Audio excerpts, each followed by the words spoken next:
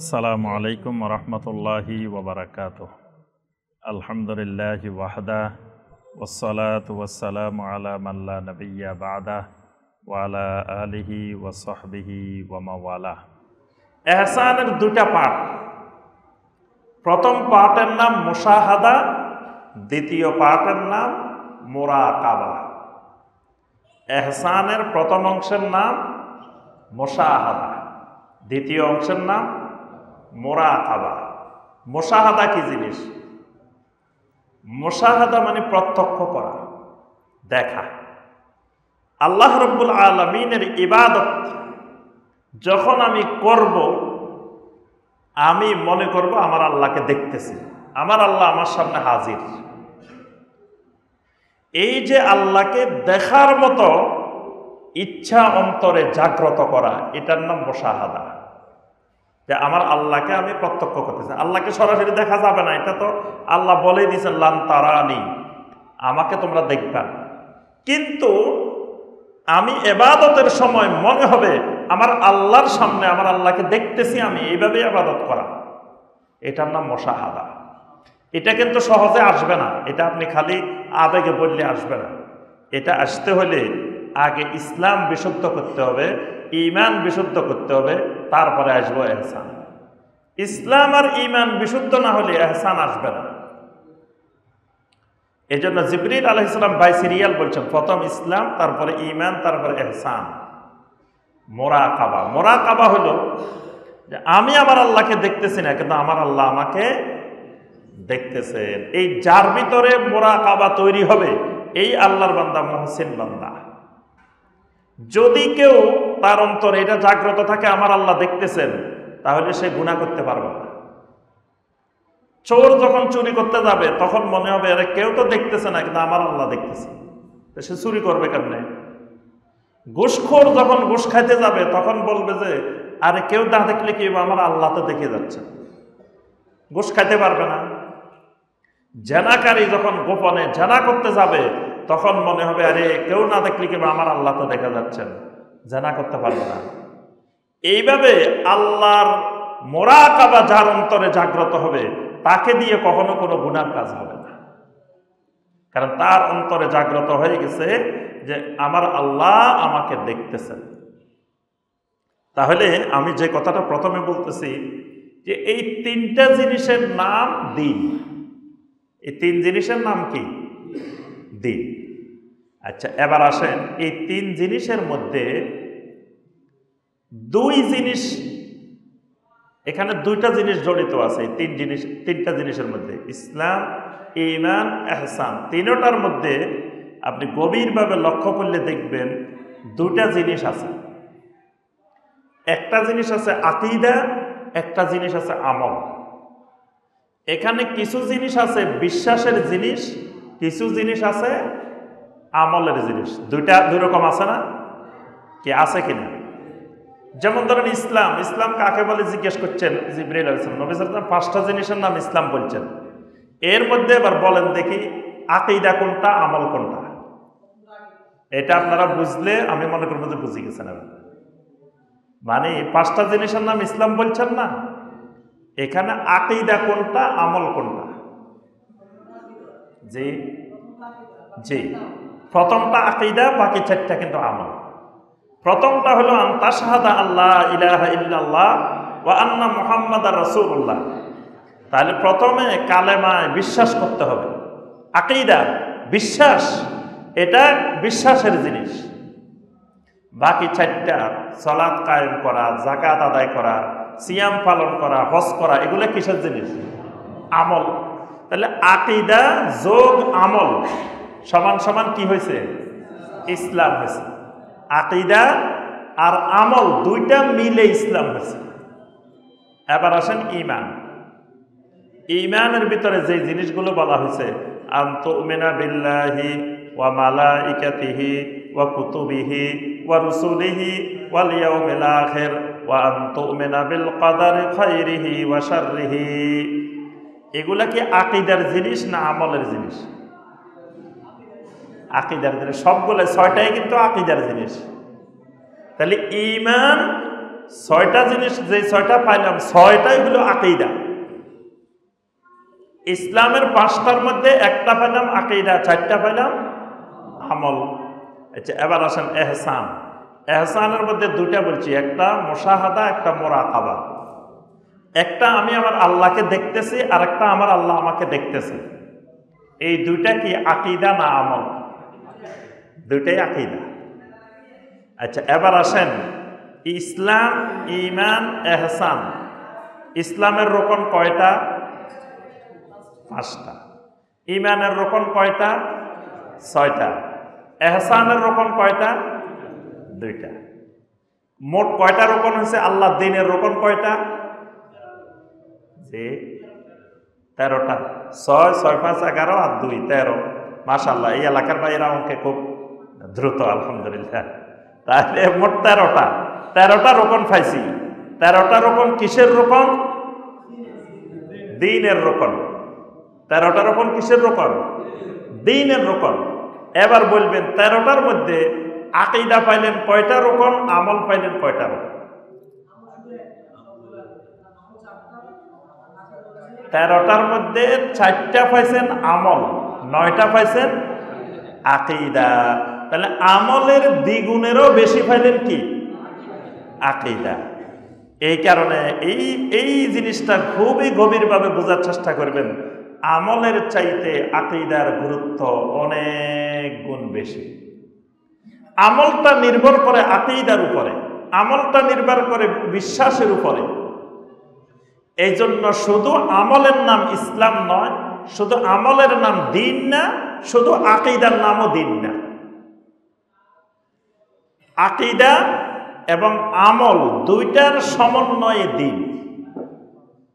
তাহলে আমি যদি আল্লাহর দিন পালন করতে চাই, দিন পালন করার মানে কি? আমার আকিদাও বিশুদ্ধ করা লাগবে, আমলও বিশুদ্ধ করা লাগবে। তাহলে আমি দিন পালন করব। তাহলে আমি হেদায়েত পাইছি, না হয় হেদায়েত পাই নাই? কিন্তু আমরা এই দেশে হেদায়েতে বুঝি নেই। আমরা মনে করি কি? যে দেখেন, এই যে লোকটা আগে নামাজ পড়তো না, এখন নামাজ পড়ে। হেদায়েত পাই গেছে। বলি না, আরে লোকটা আগে দাঁড়িয়ে রাখতো না, এখন কি সুন্দর দাঁড়িয়ে রেখে দিছে? দেখেন, লোকটা হেদায়েত পাই গেছে। লোকটা আগে মাথায় টুপি দিত না, এখন মাথায় টুপি দে হেদায়েত পাই গেছে। লোকটা আগে শার্ট প্যান্ট পরতো, এখন পাঞ্জাবি পায়জামা পরে। হেদায়েত পাই গেছে। মহিলাটা আগে বোরকা পরতো না, এখন বোরকা পরে। হেদায়ত পাই গেছে। এই আমল এগুলো দেখলে আমরা মনে করি কি পাই গেছে? হেদায়েত পাই গেছে। আসলে হেদায়েত পায় নাই। দেখবেন এই টুপি মাথা দিয়ে শিরিক করতেছে। এই দাড়ি রাখে কুফরি করতেছে। এই পাঞ্জাবি পরি বিভিন্ন শিরিক, কুফর, বেদাত করতেছে। তো সে কিসের হেদায়ত পাইছে? এ আমল করার নাম আল্লাহর দিন না, আমল করার নাম হেদায়ত না। আমলের চেয়ে বেশি গুরুত্বপূর্ণ তার আকিদা, তার আমল, তার আকিদা, তার ইমান বিশ্বাস। যে ব্যক্তি তাওহিদ বুঝছে তাওহিদ পাইছে সেই হেদায়ত পাইছে তাওহিদের আরেক নাম হেদায়ত এই জন্য সুরা আল ফাতেহার মধ্যে দেখবেন আলহামদুলিল্লাহ রব্বিল আলামিন আর রহমানির রহিম মালিক ইয়াউমিদ্দিন ইয়্যাকা না'বুদু ওয়া ইয়্যাকা নাস্তাঈন ইহদিনাস সিরাতাল মুস্তাকিম এই যে মুস্তাকিম, আল্লাহ আমাকে সিরাতাল মুস্তাকিমের কি দেন? হেদায়েত দেন। আচ্ছা হেদায়েতের আগে যেই চারটা আয়াত, সেখানে আল্লাহাক কি বলছেন?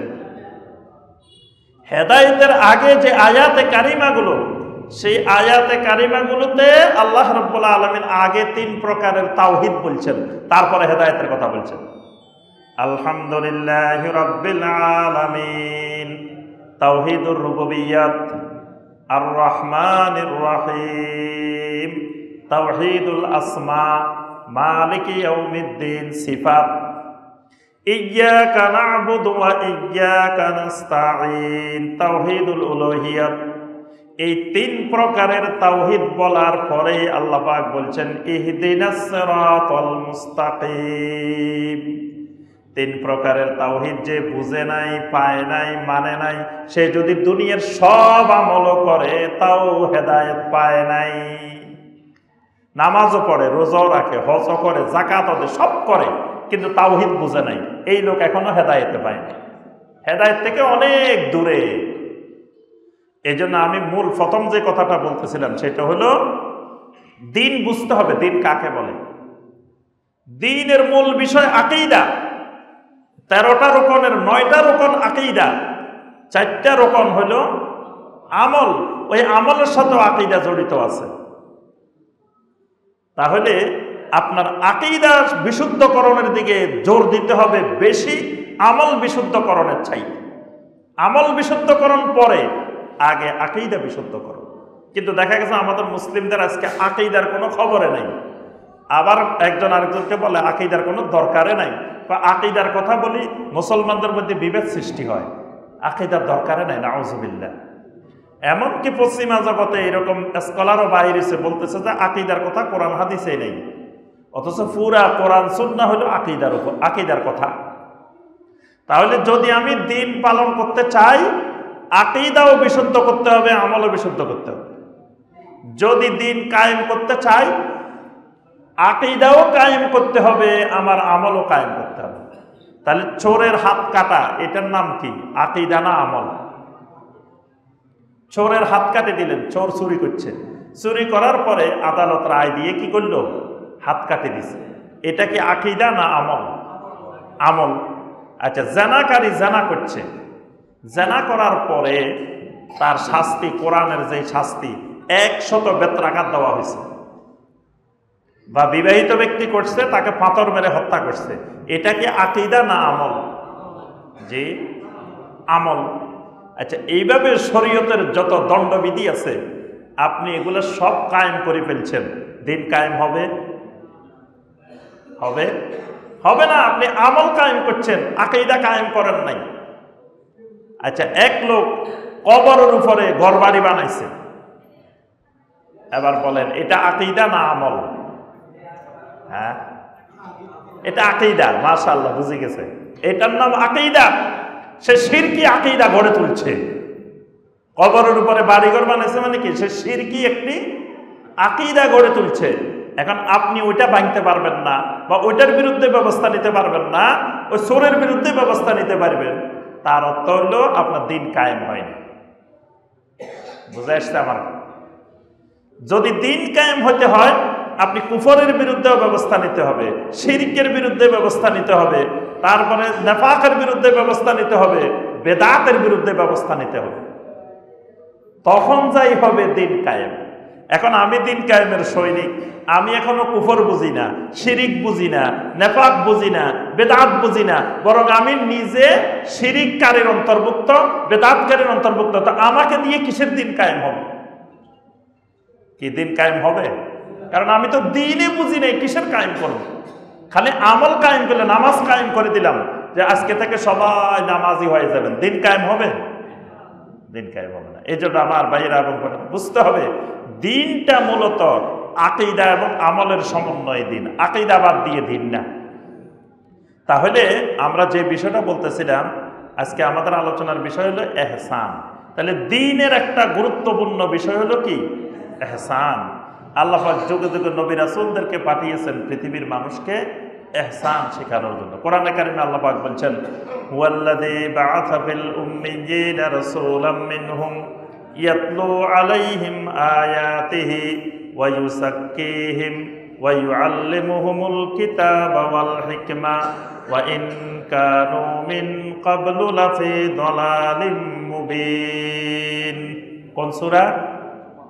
মাশাল্লাহ সুরা আল জুমা সুরা আল জুমার দুই নম্বর আয়তে আল্লাহ পাক বলছেন, আল্লাহ পাক উম্মিদের কাছে রাসুল পাঠাইছেন। কি রাসুল পাঠাইছেন? যে রাসুল ইয়াতলু আলাইহিম আয়াতিহি, আল্লাহর আয়াতগুলো মানুষের সামনে তালাওয়াত করেন। এরপরে কি করেন? ওয়াইউ আল্লিমুহুমুল ওয়াইউ সাক্কিহিম তাদেরকে তাস্কিয়া করেন, পরিশুদ্ধ করেন। এই পরিশুদ্ধটার নাম এহসান।